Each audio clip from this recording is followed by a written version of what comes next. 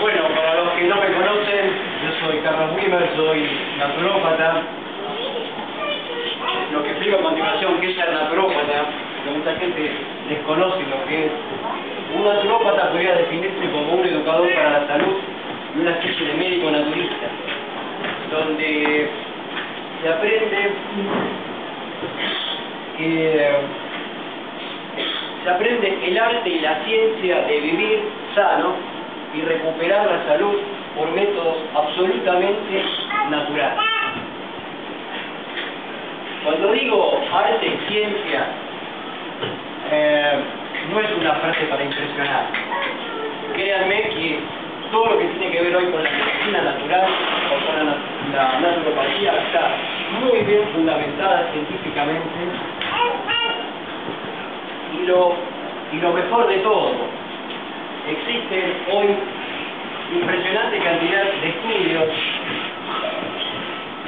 provenientes de la propia medicina oficial que están avalando lo que la medicina natural a lo largo de miles de años venía sosteniendo, como los elementos naturales, las plantas medicinales, el agua, la tierra y sobre todo la alimentación juega un papel preponderante no solo para el mantenimiento, sino para la recuperación de la salud.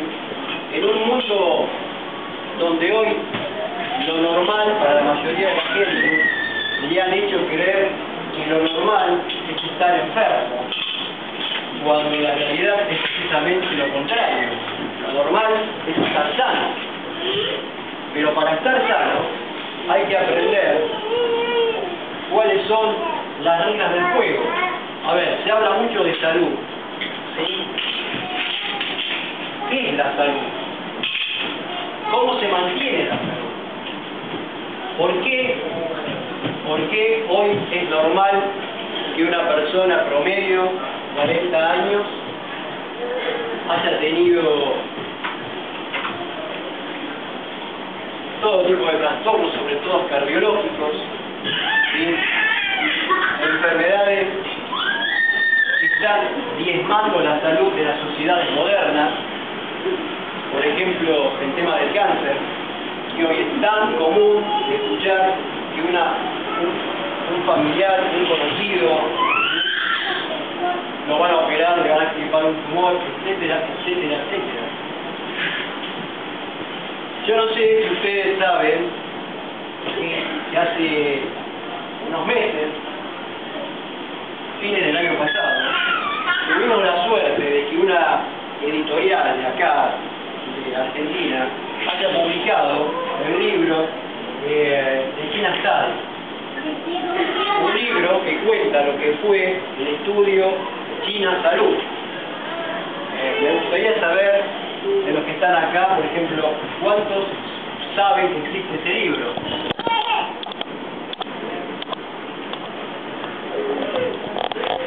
¿Por qué hago mención al libro?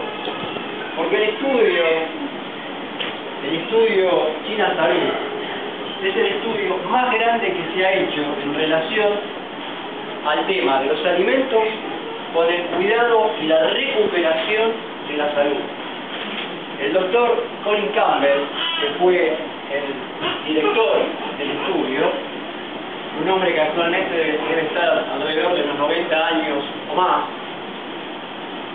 él cuenta, es un estudio que se hizo en la década del 80, estudiando las costumbres alimentarias de la China rural y evaluando los resultados de la alimentación entre eh, la alimentación de la China rural y la, occidental, sobre todo de Estados Unidos. Y este hombre cuenta que él se crió básicamente de acuerdo a las costumbres este, norteamericanas. Él nació en una granja, los padres eran granjeros, donde, donde creció pensando que los lácteos y la carne eran indispensables Y él se lamentaba de los alumnos vegetarianos, como cuenta en el libro, decía, pobrecitos. Cuando terminó el estudio, este hombre se hizo completamente vegano. Y explica rotunda y tajantemente cómo los alimentos son la principal causa de las prácticamente la mayoría de las enfermedades que hoy están diezmando las sociedades modernas. Hay toda una descripción de las principales enfermedades y cómo, cómo determinados alimentos son la causa principal este deterioro. Entre ellos, básicamente, la proteína animal. Eh, habla mucho de la caseína de la leche, pero también, hoy no voy a tocar el tema de la leche, sino vamos a tocar el tema de la carne, por el día que se conmemora. Y esto que él dice es algo que las, las grandes civilizaciones de la historia, las grandes tradiciones médicas, ya lo venían sosteniendo durante muchísimos años. La medicina oficial siempre venía eh, exigiendo las pruebas de acuerdo a la ortodoxia científica para demostrar estos hechos. Bueno, este estudio, este estudio posibilitó una gran cantidad de información a través de las evaluaciones que se han hecho y hoy demuestran tajantemente como el autor dice en la contratapa del libro, afirma rotundamente, estas enfermedades hoy se pueden curar y la curación tiene tres nombres, desayuno, almuerzo y cena.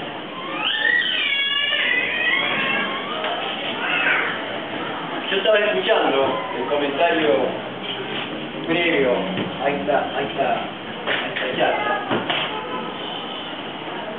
yo particularmente hace 23 años que me hice vegetariano naturista y hace 15 años que ejerzo como naturólogo. Eh,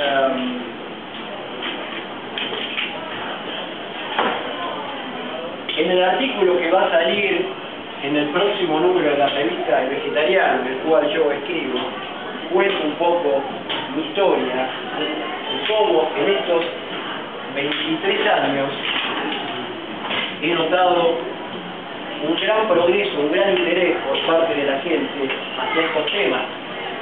Y lo que rescato en esa nota, que hoy, merced a las nuevas generaciones de chicos y chicas, como la Revolución de la Cuchara y tantos otros grupos que están siguiendo eh, la filosofía vegana o o vegetariana por principios, ya no por problemas de salud, porque dentro de la medicina naturista siempre fue tradición que el gran colectivo de gente que acudía a la consulta era gente, y es en muchos casos, gente con graves problemas de salud.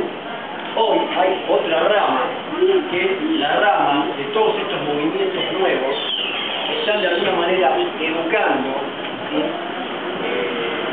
padres que son veganos, que educan a sus chicos en forma vegana. Yo particularmente tengo un chico, un nene de 7 años, que él sigue este tipo de alimentación. Y esto tiene un efecto dominó, porque eh, este, este interés de las nuevas generaciones hace también, por ejemplo, que dentro de sus propios grupos familiares, la gente empiece a decir, bueno, ¿qué pasa acá? Y muchos han probado y me han contado historias padres o familiares que han cambiado la dieta y que, se han empezado a sentir mejor. Y entonces es como que se produce un efecto dominó, que cada vez más gente se entera de todo esto. Y hoy, como dijo alguien acá, es muy normal, o sea, antes cuando yo empecé estos negocios no existían. Y hoy tenemos una variedad de, eh, lugares como para ir a comer. Yo vivo y atiendo en la zona de Almagro. Les puedo asegurar, estoy frente al hospital italiano. Les puedo asegurar que en cada cuadra hay una roticería vegetariana. Entonces, hoy hablar de vegetarianismo y de veganismo no resulta tan loco, ¿sí? como hace varios años atrás. Eh, con respecto al tema de salud, que es el tema que me toca hablar, es una de las tantas ramas, uno de los tantos caminos que una persona puede tomar como motivo para hacerse vegetariano. Existen otras, ecológicas, éticas, religiosas. A mí me toca hablar un poco del tema de salud. Todavía hoy sigue habiendo, por parte de la mayoría de la gente que desconoce esto, siguen persistiendo los grandes mitos en relación a la alimentación vegetariana. ¿Y dónde sacaste el hierro? ¿Y dónde sacaste el calcio? ¿Qué pasa con las proteínas? ¿Y qué falta con la vitamina B12? Y sin carne no se puede vivir.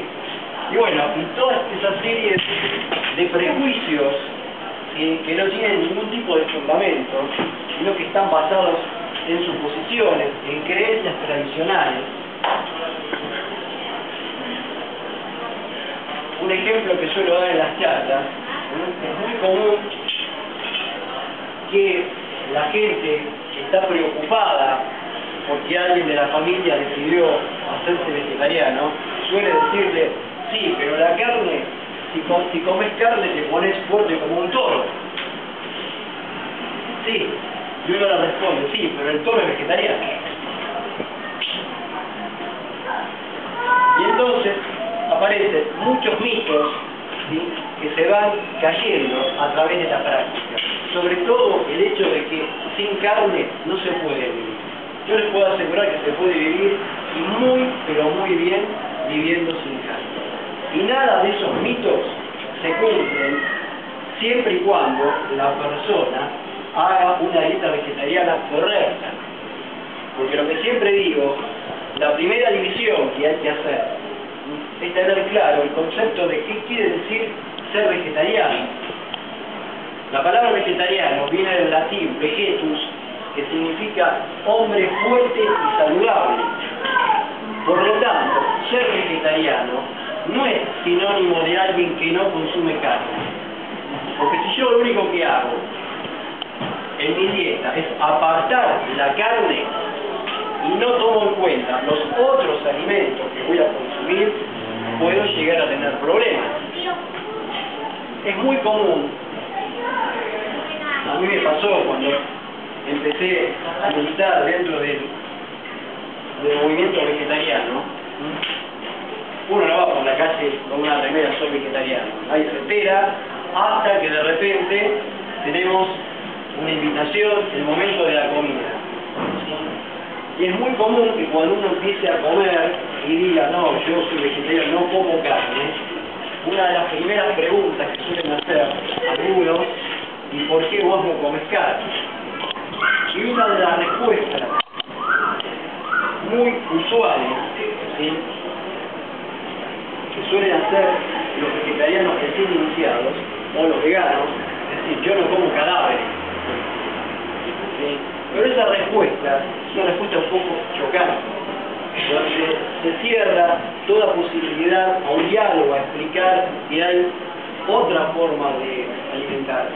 Entonces siempre explico, en vez de contestar en forma tajante, yo no como cadáveres, uno puede contestar, prefiero o hay, existen otras opciones alimentarias más sanas.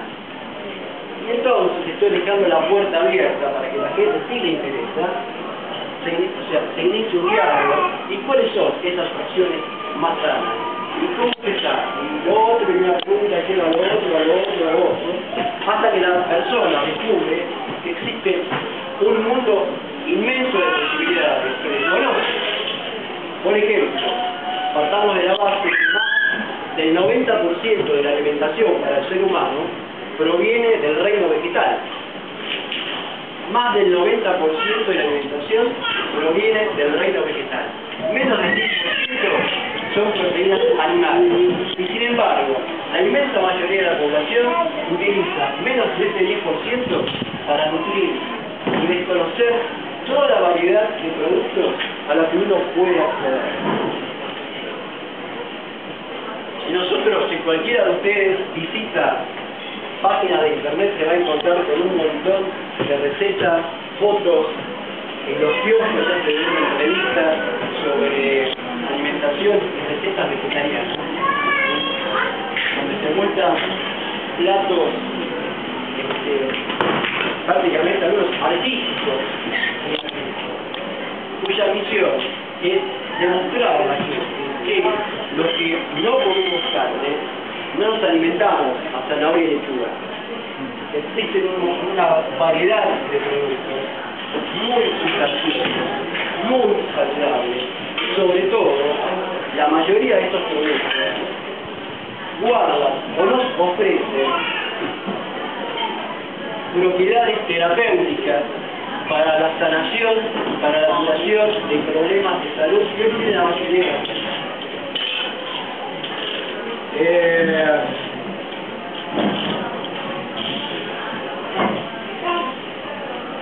ojalá que estos eventos se repitan más a diario, que esto sea más común.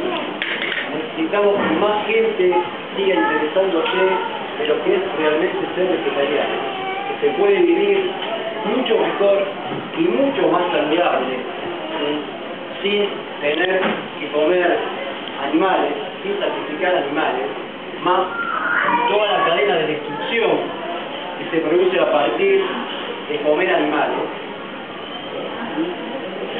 Y sobre todo porque dentro de, de los profesionales de la medicina natural solemos tener un lema, un principio, que es educar es mejor que medicar.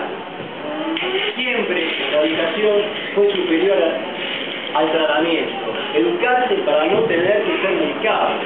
Y entonces, ahí es cuando aprendemos, además del tema de la, de la alimentación, otros factores, que son los que van a hacer que la vida pueda ser vivida de forma armoniosa, sin dolor, sin sufrimiento, algo que lamentablemente mucha gente no, no lo ve de esa forma o no lo vive de esa forma. No es cierto que estemos preparados para las enfermedades, no es cierto que estamos preparados para sufrir. Lo que pasa es que hay intereses creados, esta información no la divulgan, pero los hechos, los, los hechos están demostrando que cada vez hay gente, no solamente está sino que muchos siguen acercando para tratar de encontrar soluciones a los problemas crónicos que no han podido ser solucionados de la forma tradicional. La idea después de esta introducción, es que bueno, tratar de evacuar todas las dudas posibles, me gustaría que todos los que tengan dudas pregunten, vamos a voy a tratar de responder todo lo que pueda, que esto sea más ameno, esto de estar acá al frente hablando, que los demás escuchen, puede ser la incógnita, a ver, bueno, ¿qué estarán pensando? Eh, bueno, los invito a que formulen todo tipo de preguntas. Sí, yo quería saber, porque yo hace un año y algo más o menos que me hice vegetariana. Y bueno, quería saber si para mí anémica, como toda mi familia me dice, te vas a volver anémica, y qué sé yo. Eh, ¿Puedo tomar suplemento? Me dijeron que si niña, que. Yo trato de comer lo más variado posible, ¿no? Pero, ¿qué es lo que tendría que consumir, digamos, más como para que no... El tema de la anemia parece paradójico te voy a contestar como, como profesional. Mucha gente que recurre a los, por ejemplo, a las monodietas o a los ayunos, termina solucionando el problema de la anemia. ¿Por qué? Porque dentro del concepto que se maneja en medicina natural, cuando un cuerpo está intoxicado, cargado de toxina, el cuerpo se hace absorber los nutrientes. Entonces, no es, la mayoría de las veces, no es un problema de falta de nutrientes, es un problema que el cuerpo no lo puede absorber. ¿Y por qué no lo puede absorber? Porque está sucio. Entonces, una persona que viene una alimentación convencional, que arrastra determinados problemas de salud, lo primero que tiene que hacer es limpiar. Es como pintar una pared. Bueno, yo desde que cambié de alimentación nunca más tuve problemas de hígado, yo sufrí mucho de hígado, vivía con infección, con ataque de hígado, nunca más. La verdad, gracias a Dios, nunca más. Ese es el caso más común. Obviamente está el otro caso, como dije, que no come carne come todo cocido. Yo puedo comer papas fritas, Ah, puedo comer azúcar, tampoco. puedo comer prácticamente nada de crudo. Los mismos vegetales que tienen hierro, y hojas verdes, tienen también una importante dosis de vitamina C. Porque la vitamina C ayuda a absorber el- lo que se dice el hierro no élico, el hierro no sanguíneo. No, yo la espinaca la como cruda. Claro. Los animales como comen. Los animales en su medio natural. ¿Cocinan los alimentos? Se lo comen crudo. Claro, pero no estaría mal por ahí de pronto incorporar la espirulina, o sea, Sí. sí, ¿no? Sí, hay muchos alimentos. Espirulina, la maca, Ah. chía, la quinoa, mm, eh, toda, la, toda la variedad de hojas verdes, azúcares integrales. Después está el tema de cómo combinarlos. Claro, Combinarlos adecuadamente para que el cuerpo los pueda absorber. claro. Este es otro tema.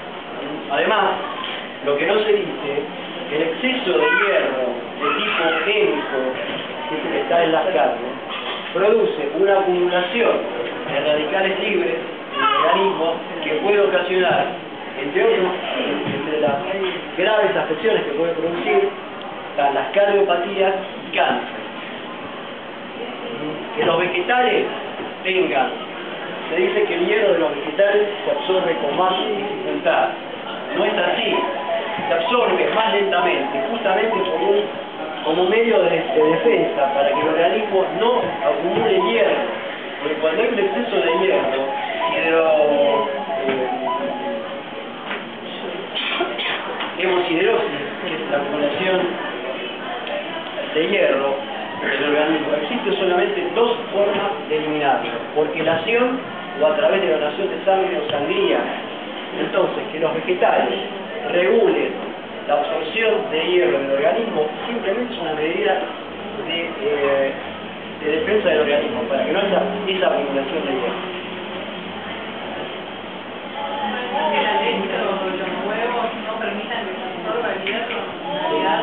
se de hecho, lo que pasa es que hay muchos chicos que prácticamente crían en los primeros meses o años de vida a base de leche. Y la leche prácticamente carece de hierro. Y además, se sabe, los médicos de familia saben que el exceso de leche de vaca puede producir un estado de irritación, llegar a producir un sangrado a nivel de los intestinos, donde el bebé puede perder sangre en la leche. Se llama sangre oculta en materia fecal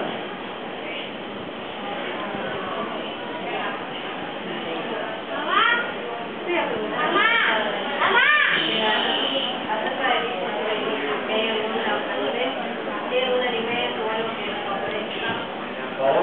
el hipotiroidismo? Sí, el hipotiroidismo, bueno, mirá, vos tocaste un tema, uno de los temas clave. Eh,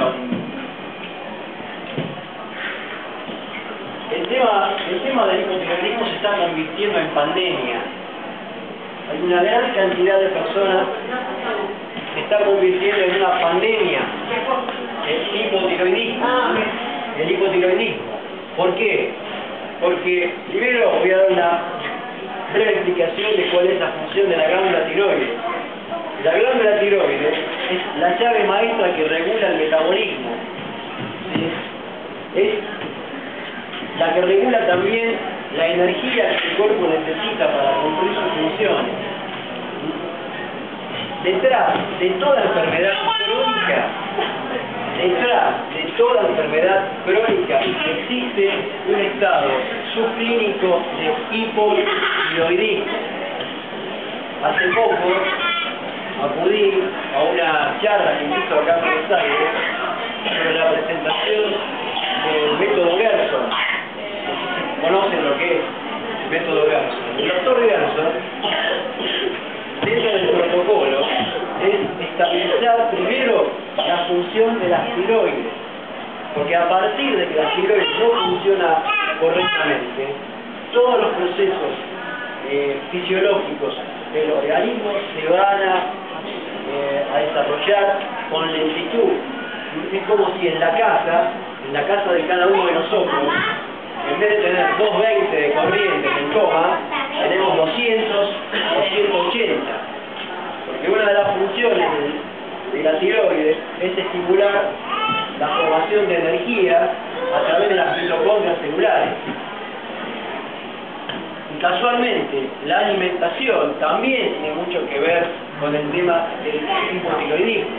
Por ejemplo, por ejemplo, el consumo de carne, ¿sí? saben que la carne, cuando el animal lo matan, lo asesinan, automáticamente comienza un proceso de putrefacción y de generación de toxinas. ¿sí? Muchos animales son portadores de parásitos. Los parásitos es una de las causas que pueden dar lugar al hipotiroidismo. Los parásitos pueden llegar por vía sanguínea a cualquier parte del cuerpo y alimentarse de lo que nosotros ingerimos. Y cuando faltan nutrientes, cuando esa carencia se hace bastante notoria, órganos o sistemas del cuerpo pueden fallar, no por falta de aportes, los aportes están, pero como los parásitos. Los parásitos es una de las causas más habituales de hipotiroidismo. Entonces, cuando la persona le da levotiroxina, que es yodo, para las tiroides, están obviando ese tema. Además, el yodo no solamente se necesita para las tiroides, sobre todo en la mujer, el yodo se necesita para varios órganos más. O sea que la levotiroxina que uno esté tomando le soluciona, el problema de las tiroides, pero no el problema del resto del cuerpo.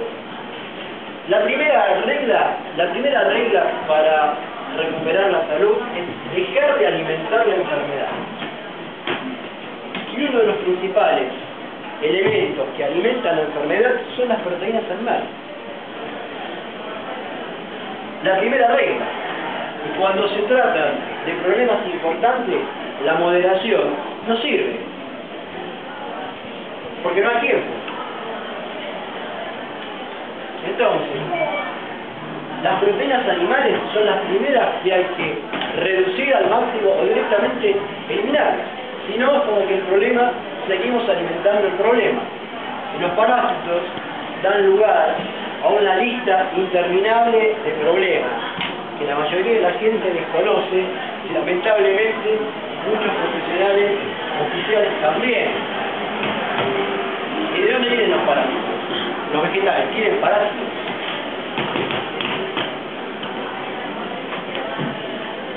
Se recomienda mucho la carne del cerdo, porque se dice que es una carne que tiene poca, poca cantidad de grasa. Hablando de los parásitos. Cuando el cerdo es el principal animal que más parásitos desarrolla. En cambio, menos grasa por más parásitos.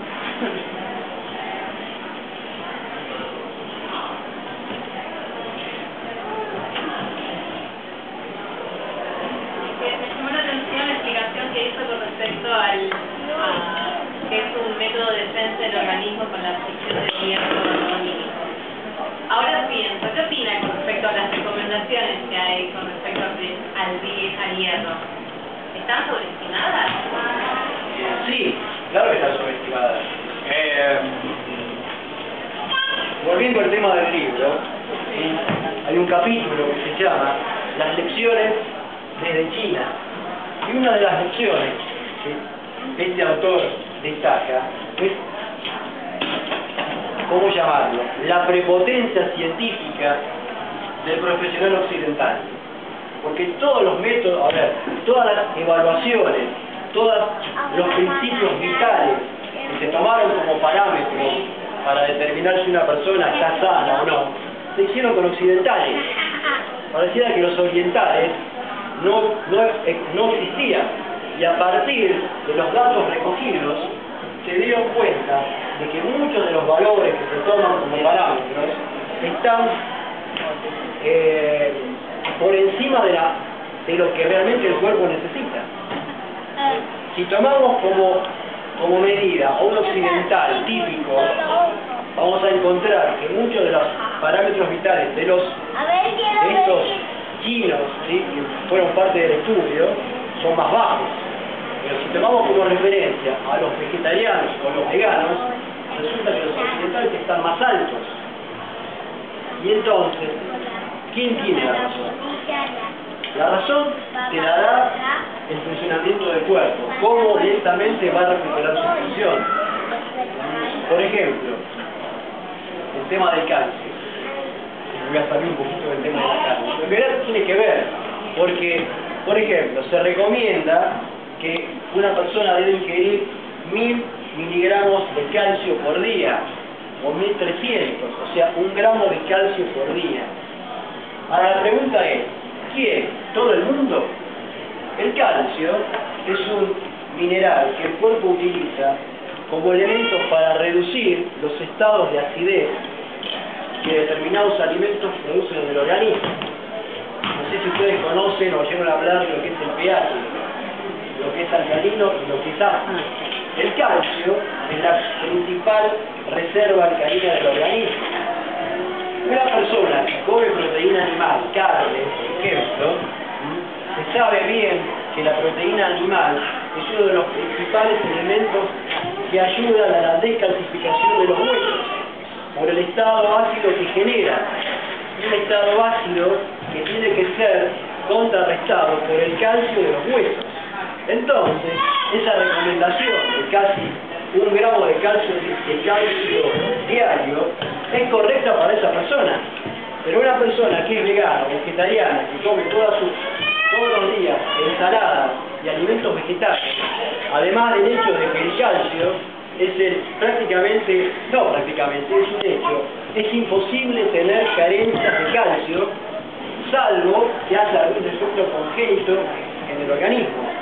Una persona que vive alimentándose a vegetales no va a necesitar reponer tanta cantidad de calcio, porque tampoco los pierde. ¿Por qué pierdo el calcio?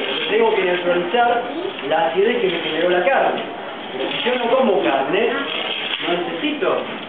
Si yo tengo, a ver, mis deudas saldadas, estoy llegando a mis cuentas, ¿sí? no voy a necesitar este, comerme las reservas. Porque tengo las cuentas equilibradas. Y lo mismo pasa así, por ejemplo, con el hierro, pasa con el tema también de la vitamina B12, pasa con el tema de la proteína. Hay un capítulo, prácticamente todo el libro está dedicado al tema de las proteínas animales. ¿Cuál es el porcentaje real de proteínas animales que uno debiera comer como máximo? Y en caso de tener antecedentes familiares de enfermedades graves, directamente sacar la proteína animal, tolerancia cero. Entonces, claro, muchos de los, a ver, de los parámetros que se toman como modelo, están ¿De dónde se obtuvieron? De gente que come alimentación sana, vegetariana, o de gente que, come, que consume lácteos, huevos, fiambre, y cualquier bicho que se lo cruza en cambio se lo come. Entonces, el resultado, ¿cuál va a ser? Sí.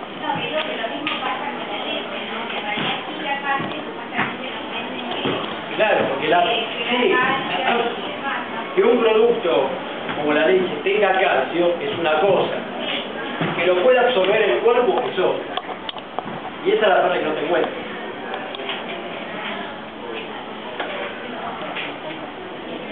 Entonces, ¿necesitamos leche? No, para nada. En realidad se puede vivir perfectamente bien con una dieta absolutamente vegana. Eh, en Estados Unidos existe el Comité de Médicos para una Medicina Responsable, el PSMR, no sé si alguno está al tanto de lo que es. Es un grupo de profesionales, entre 5.000 y 6.000 profesionales, médicos y nutricionistas, que tienen una orientación vegana y que por influencia, por influencia de este grupo que tiene creo que más de 100.000 seguidores en Estados Unidos, han logrado modificar la famosa pirámide nutricional. Hoy, en la punta de la pirámide, se ponen los lácteos y la carne, con la aclaración de que no es imprescindible para la salud humana. Esto es real. Yo quisiera saber si los famosos nutricionistas que hablan por televisión conocen esta pirámide. Para nada. Yo les puedo contar les puedo contar de mamás veganas y las historias de horror que tiene que soportar de parte de los profesionales nutricionistas convencionales. Una vez, se lo juro por mi hijo, vi un chico a comentarme que el nutricionista le dijo, si no tomás leche, se te van a caer los dedos de la mano.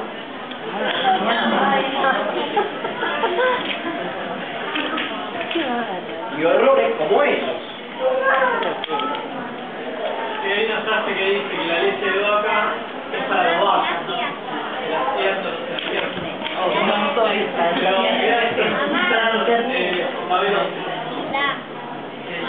Sí, uno de los famosos temas polémicos. En realidad, a ver, ¿por qué la carne se encuentra más fácilmente de vitamina B12 que los vegetales? Porque cuando en la carne se pululan y se forman mucho más bacterias que los vegetales. ¿Por qué explico esto? Porque la, vitamina B12 no la fabrican ni los animales ni las plantas, la fabrican las bacterias. Entonces, cuando uno come vegetales, sobre todo vegetales orgánicos, va a encontrar restos o bacterias que fabrican vitamina. Estas bacterias, cuando vos te las comes con la planta, van a estar en tu interior y van a seguir generando vitamina D12, nada más que en otro medio. Pero también tenemos que tener en cuenta que, el, llamarlo de alguna forma, el exceso de higiene y el temor sobre sobrevalorado, el temor a las bacterias, hace que hoy utilicen elementos que dejan todo libre de bacterias y estamos eliminando las bacterias que van a producir vitamina D. O sea, el exceso de asepsia termina siendo perjudicial para la salud humana. De esto podemos estar hablando jornadas enteras sobre el tema de la inmunidad, ¿sí? las bacterias y si son realmente las responsables de las enfermedades que tenemos, porque echarle la culpa. Pero el tema de la vitamina B12 también hay que tener en cuenta el correcto funcionamiento del aparato digestivo. Si el aparato digestivo no funciona correctamente y no se evacúan los intestinos todos los días, ¿sí? se van a desarrollar microorganismos, van a haber, la gente que come proteína animal va a tener proliferación de parásitos. Y como dije con las tiroides, los parásitos se van a comer la vitamina B12. que fabrican las bacterias.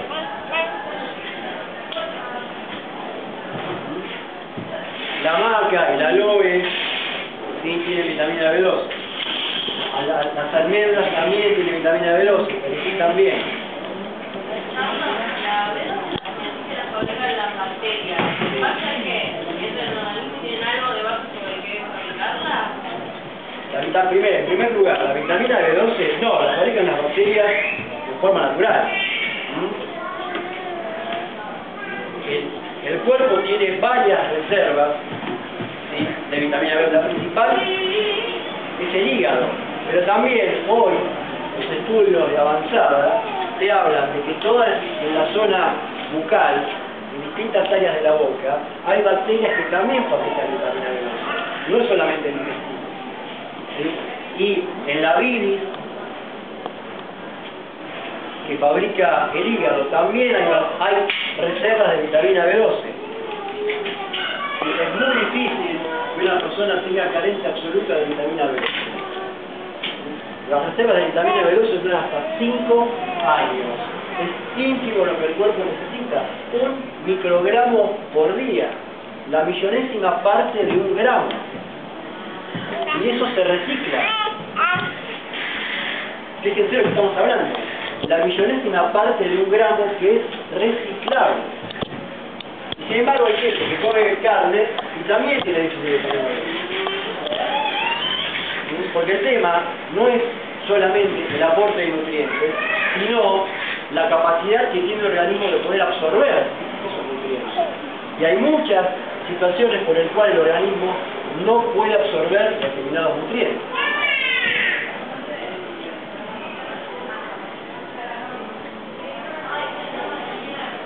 Sin duda, este, pensando en, en la prolongación, digamos, de una vida sana, este, está dada a partir de la educación. Por eso dije, Porque se supone que vamos a vivir más en la medida, entre comillas, en la medida en que más sepamos. Si hacemos una lista de los factores que atentan contra la buena salud, estamos hasta la semana que viene. Y empezamos a nombrar, a nombrar, a nombrar, y resulta que uno toma conciencia, se da cuenta de que todo a su alrededor, de alguna manera, directa o indirectamente, atenta contra el estado de buena salud. Y ni hablar, ni hablar de las instituciones oficiales, con todo un protocolo de cuidado de la salud artificial, pero no tiene nada que ver con la salud real. Sí, responde a un sistema. a un sistema, a un sistema que se retroalimenta y que le es mucho más favorable la enfermedad que la salud. Eso no cabe duda. Económicamente, ¿no? Como con mi yo que ¿cómo es? comenta Ma- a Mastellón y a El la enfermo, el enfermo curado es paciente perdido. La, la, vez que me algo que me salió el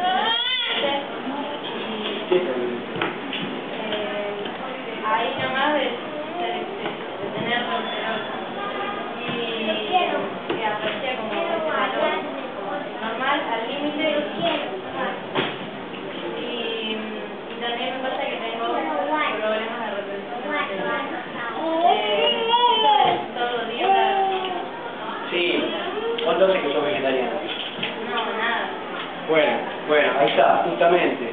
No se olviden de algo, algo principal de la transición. ¿Cómo se debe hacer la transición? Unas personas que están acostumbradas a comer todo cocido, no pueden salir y comerse dos bandejas. Porque le digo a la gente, cuando los pacientes vienen por primera vez, les digo, hay que adaptar la flora. La flora tiene microorganismos que están diseñado, preparado para procesar la fibra. Pero si yo soy un microorganismo y no me mandan fibra, yo estoy así, ¿qué hago acá? ¿Me voy, no tengo nada que hacer. Entonces necesito nuevamente repoblar, equilibrar la flora, prepararla para que estos microorganismos vuelvan a recordar cuál es la función para la cual estaban asignados. Porque si no, al no haber microorganismos, los alimentos no pueden eh, digerirse, no pueden procesar. Entonces fermentan, crean gases, las personas se hinchan. Hay un proceso de transición que puede durar entre 10 y 15 días, de acuerdo a cuánto tiempo hace que la gente no consume crudos. Y la pregunta básica, ¿por qué hay que comer crudos? ¿Sí?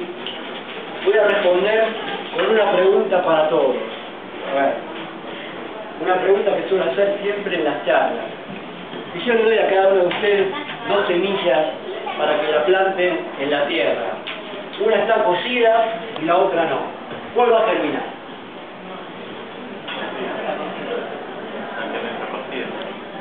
La respuesta es obvia. ¿Por qué? Pero desde el punto de vista biológico, ¿cuál es la diferencia? La diferencia es que la planta viva, a través del proceso de fotosíntesis, acumula energía que obtiene del sol y los nutrientes que absorbe del suelo, y esa es la verdadera función de la fotosíntesis, no solamente crear oxígeno. Las, plantas lo que tienen la función es tomar los minerales del suelo. Y prepararlos para que el cuerpo los pueda asimilar. Y entonces estamos, cuando comemos alimentos crudos, estamos, estamos consumiendo directamente energía viva, energía del sol, energía de la tierra. Por eso, y aparte se queman, se anulan las enzimas, lo, la clave para la salud. El cuerpo no funciona sin enzimas, que son proteínas. Y cuando el cuerpo no tiene enzimas, las tiene que fabricar él. ¿sí? Y cuando el cuerpo pasa toda su vida generando enzimas, órgano que se sobreestimula, se atrofia, se hipertrofia. Entonces aparecen las insuficiencias o las deficiencias.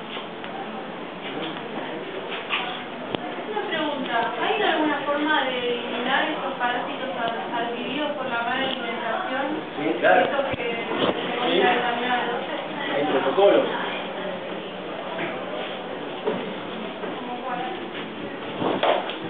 Varios, varios mecanismos de desintoxicación, intestinal, plantas y alimentos específicos, De reducir determinado tipo de alimentos que alimentan los parásitos, como por ejemplo los dulces.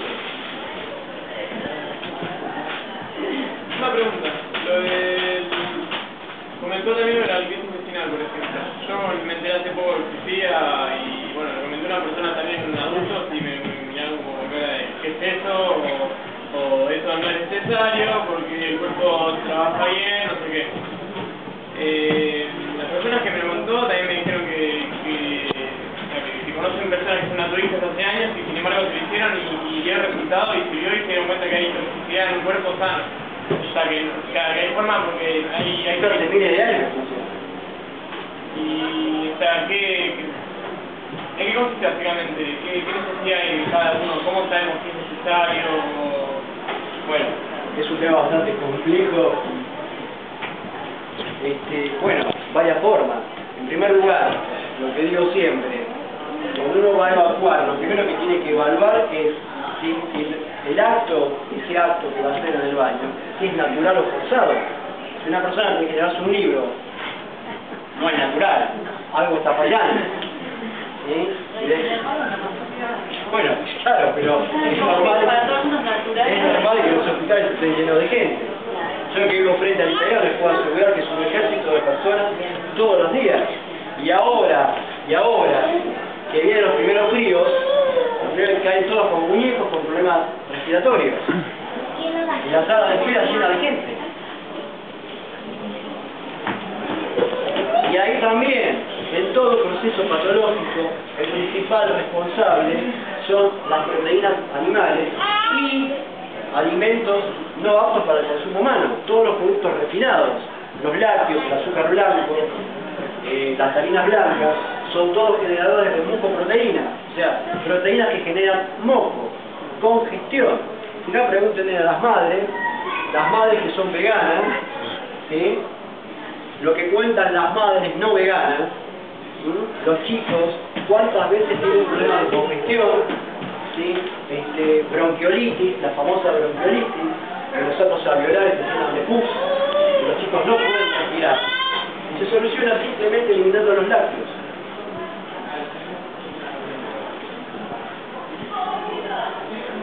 Te quería preguntar, este, yo desde hace un tiempo siento como cierto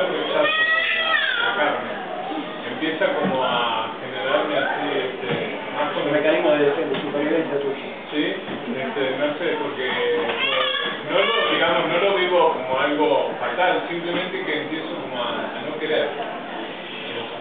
Hay un dicho en medicina, siempre la carne, a ver, ¿cuál fue? A ver, ¿qué es el argumento que suelen decir desde la medicina oficial cuando se enteran que alguien es vegetariano o va a hacerse vegetariano? No el tema de las proteínas, etcétera, etcétera, etcétera. Hay un dicho en medicina que dice, la gente podría vivir con la cuarta parte de las proteínas que consume. Las otras tres cuartas partes es para darle de comer al médico.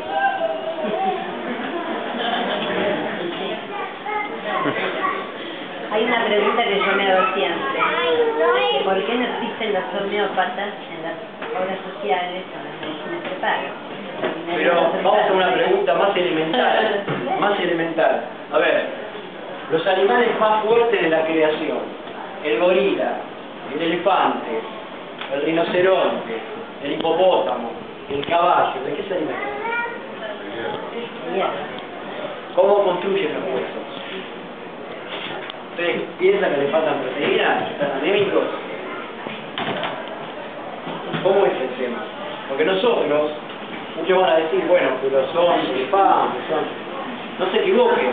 Antropológicamente, el hombre pertenece al grupo de los eh, mamíferos. Somos todos mamíferos. O sea, no es que sea base, no. No es que la antropología no lo clasifica si tiene dos o, un estómago, dos o cuatro. La especie es la orden de los mamíferos. ¿Sí? ¿Cómo? Somos la única especie de la creación con una, una lista así de problemas. ¿Cómo tema? Hay otra pregunta que mucha gente hace. Cuando uno se hace vegetariano, si ya sos una persona grande, no, no puedes hacer vegetariano, tenés que ser más joven para ser vegetariano. ¿Hay alguna edad para ser vegetariano? Yo la pregunta, por ejemplo, una pregunta que suelo hacer siempre cuando vienen los pacientes y se quedan asombrados es de se la voy a tratar a todos ustedes. ¿Cuánto tiempo quieren vivir sanos?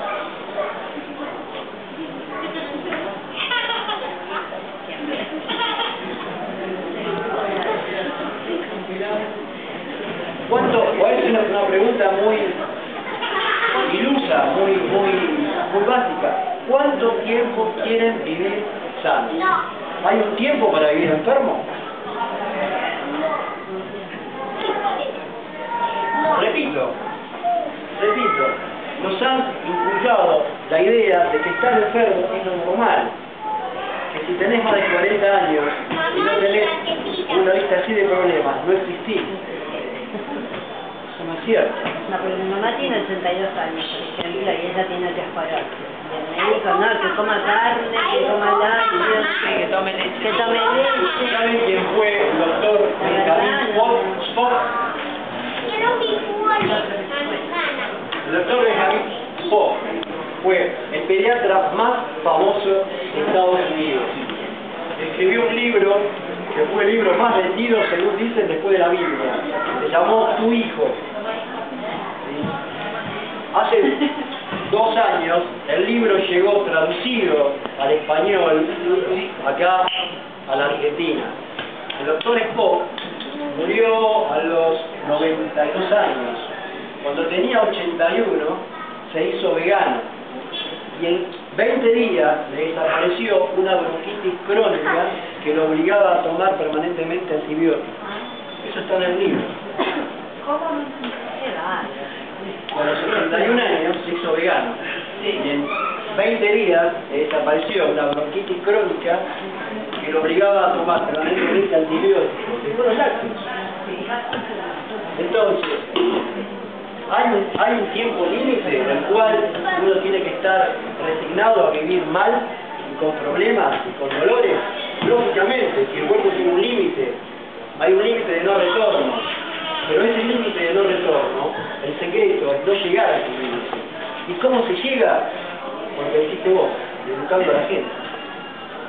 ¿Cuál es el secreto para mantenerse sano?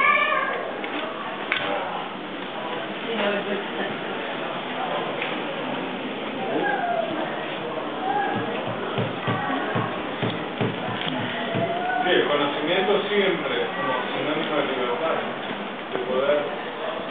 ¿Ustedes saben lo que quiere decir la palabra enfermo? Se habla mucho de enfermedad. ¿Alguien me puede decir lo que significa la palabra enfermo? Encerrado. La palabra enfermo viene del francés enfermo, que significa encerrado. Justamente, porque cuando uno pierde la salud, pierde la libertad.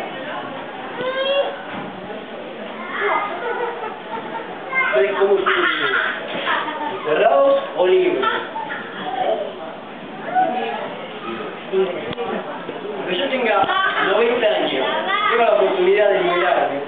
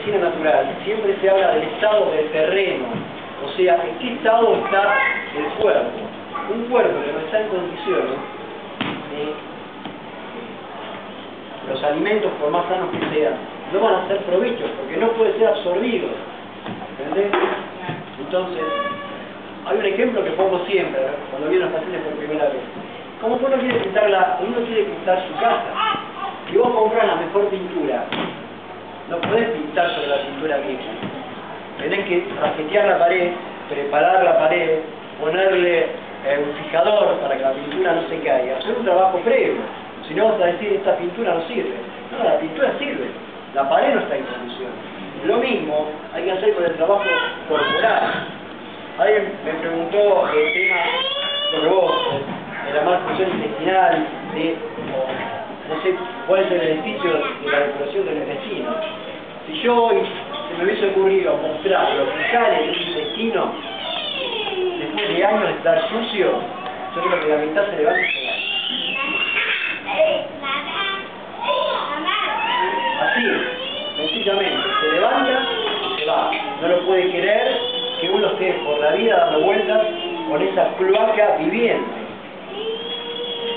Entonces, a partir de ahí, si todo el intestino está revestido popó, endurecido, petrificado en muchos casos, cada molécula, cada partícula de que va a entrar al corriente sanguíneo se va a empapar de todo eso.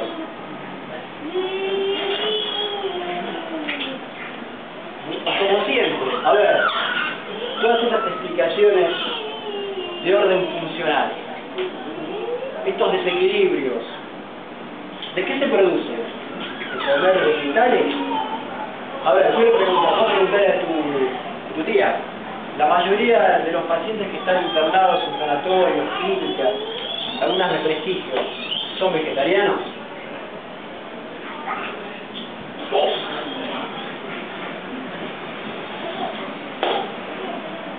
Que hagan, que hagan un balance, a ver, de todos los enfermos, con cardiopatía, a ver, ¿qué porcentaje son vegetarianos?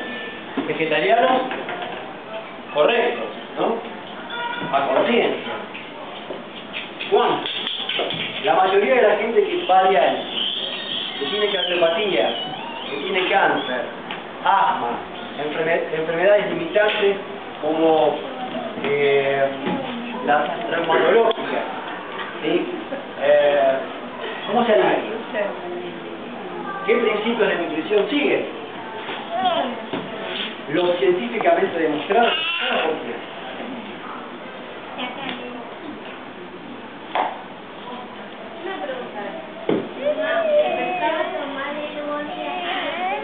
¿El pescado yo te diría que Yo. Cuando viene alguien a la consulta, no todo el mundo quiere ser vegetariano, en el caso de las consultas. Hay gente que quiere mejorar la, la alimentación y no quiere ser vegetariano. Yo le digo que la peor de las carnes es el pescado. Porque en este momento el pescado viene de un mar que está tremendamente contaminado con todo tipo de desechos. Es el mayor reservorio de mercurio. La acumulación de mercurio en el organismo produce enfermedades importantes, cardiopatías, enfermedades renales, hipertensión severa que no cede con nada, enfermedades neurológicas y trastornos del sistema inmunitario que pueden llegar a desarrollar enfermedades autoinmunes, además de los parásitos. El Paciolosis buquí es uno de los principales parásitos que hace estragos en la salud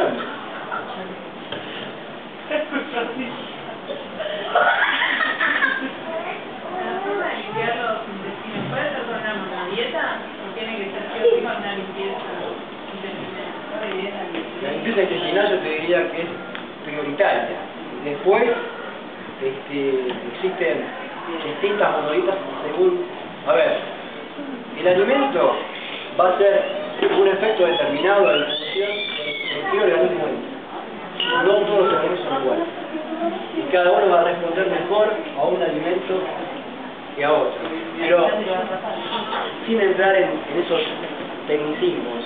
A ver, el espíritu de la charla de era conmemorar el tema de un día por lo menos al año de alimentación sin carne y reflexionar sobre todo las consecuencias que para nuestra vida, para nuestra salud y para el planeta trae el consumo de carne.